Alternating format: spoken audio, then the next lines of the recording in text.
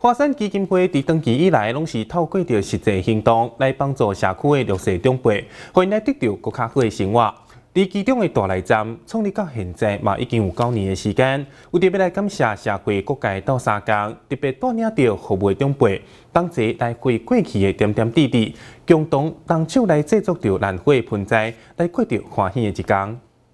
华山基金会大内站对成立到现在已经有九年的时间。以前嘛特别趁着周年的日子，带领着服务的长辈来做伙进行一寡无共款的交流活动。嘛共同回忆了这几年来基金会服务过每一位长辈的过程，更是做伙动手制作了兰花盆栽。华山基金会大内爱心天使站在过去九年来，总共服务了一百五十三位的弱势长辈。那目前每个月仍然有持续的到宅服务八诶六十四位的阿公阿妈。感谢我们在地的善事还有义工长期以来的帮忙哦，特别办在今天，然后邀请我们服务的阿公阿妈一起来同乐共共享这个欢乐，这样哦。兰花有一种祝寿的的含义哦，那这个小兰花就是阿公阿妈也都很喜欢，所以就特别选择这个兰花小盆栽来来作为这次感恩茶会的主主题这样。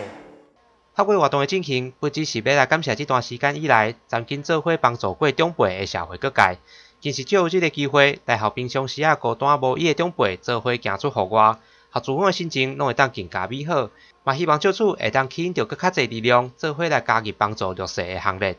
记者可将明大内区采访报道。